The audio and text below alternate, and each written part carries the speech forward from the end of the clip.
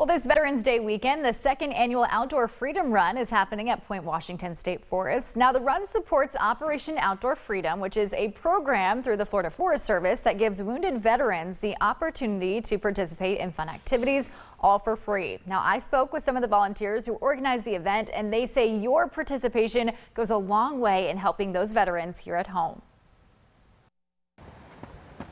You don't have to be an avid runner. If you're a run walker or just a walker, uh, definitely come on out and enjoy the scenery and just the camaraderie of uh, everybody around you.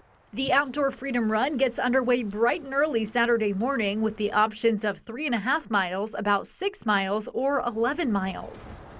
And no matter which run you register for, your money supports Operation Outdoor Freedom's events right here in the Panhandle. Deer hunting events, hog hunting events. We do canoe trips.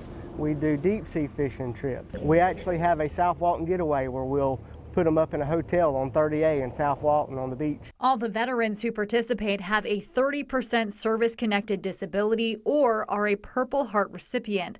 And Operation Outdoor Freedom allows them to participate in these fun events at no cost. So during its inception in 2009, we've hosted over 500 events and served over 4,000 vets. But it can't happen without the community's support, making fundraising events like the Outdoor Freedom Run crucial to their mission. You can come on out there and be active.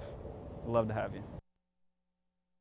Now you can register before the run or you can show up at the Eastern Trail at Point Washington at 8 o'clock Saturday morning to participate. And for more information on the event and Operation Outdoor Freedom, just head to our website, mypanhandle.com.